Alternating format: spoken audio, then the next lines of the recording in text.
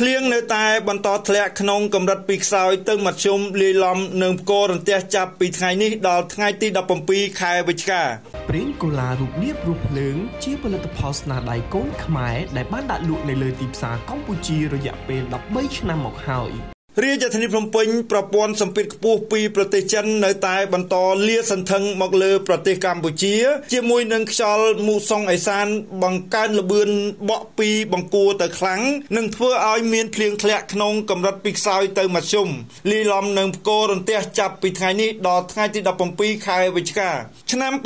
2023នេះបើយោងតាមការឲ្យដឹងពីក្រសួងធនធានទឹកនិងអូតូនិយមនៅព្រឹកថ្ងៃទី15ខែវិច្ឆិកាឆ្នាំ2023 2023ក្រសួងអះអាងយ៉ាងដូចនេះថាប្រព័ន្ធសម្ពាធខ្ពស់ពីប្រទេសចិននៅតែបន្តលាសន្ធឹងមកលើប្រទេសកម្ពុជា ជាមួយនឹងខ្យល់មុសុងបង្កើនល្បឿនបក់ពីបង្គួរទៅខ្លាំងស្ថានភាពបែបនេះនឹងធ្វើឲ្យធាតុអាកាសចាប់ពីថ្ងៃទី15ដល់ថ្ងៃទី17ខែវិច្ឆិកាឆ្នាំ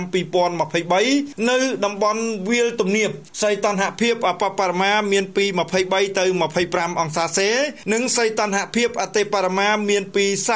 ទៅ32អង្សាសេហើយខ្យល់បក់មកពីទិសឦសានក្នុងល្បឿនពី4ទៅ6ម៉ែត្រក្នុង1វិនាទីរីឯនៅរាជធានីភ្នំពេញនិងបណ្ដាខេត្តនៅភាគខាងត្បូងអាចមានភ្លៀងធ្លាក់នៅក្នុងកម្រិតពីខ្សោយទៅមធ្យមលាយឡំនឹងផ្គររន្ទះដែលអាចគ្របដណ្ដប់លើផ្ទៃដីពី20ទៅ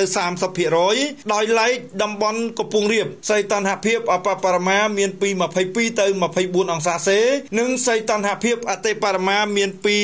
29ទៅ31អង្សាសេហើយខ្យល់បក់មកពីទិសឦសាន ក្នុងល្បឿនពី5ទៅ7ម៉ែត្រក្នុង1វិនាទី ចំពោះតំបន់មាត់សមុទ្រសីតុណ្ហភាពអបបរមាមានពី24ទៅ26អង្សាសេ និងសីតុណ្ហភាពអតិបរមាមានពី28ទៅ30អង្សាសេ ហើយខ្យល់បក់មកពីទិសឦសាន ក្នុងល្បឿនពី3ទៅ5ម៉ែត្រក្នុង1វិនាទី និងមានភ្លៀងធ្លាក់នៅក្នុងកម្រិតខ្សោយលាយឡំនឹងផ្គររន្ទះនិងនៅលើផ្ទៃសមុទ្រមានភ្លៀងធ្លាក់លាយឡំនឹងផ្គររន្ទះនិងខ្យល់កន្ត្រាក់នៅក្នុងកម្រិតពីខ្សោយទៅមធ្យមរលកសមុទ្រមានកម្ពស់ពី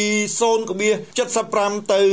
1.25ម៉ែត្រ ប្រេងកូឡារូបនាគព្រោះភ្លើងផ្សំឡើងពីឱសថបុរាណខ្មែរជាច្រើនមុខមានគុណសម្បត្តិនៅក្នុងការព្យាបាលអាការៈឈឺសន្លាក់តាមសាច់ដុំចុករោឆ្អឹងខ្នងចុកពោះការពារពឹសសត្វល្អិតនិងបំបត្តិអាការៈឈឺចុកចាប់បានយ៉ាងឆាប់រហ័សប្រេងកូឡារូបនាគព្រោះភ្លើងជាផលិតផលស្នាដៃកូនខ្មែរដែលបានដាក់លក់នៅលើទីផ្សារកម្ពុជារយៈពេល13ឆ្នាំមកហើយមានប្រេងកូឡារូបនាគព្រោះភ្លើងដូចមានគ្រូពេទ្យប្រចាំកាយដ៏ស័ក្តិសិទ្ធិ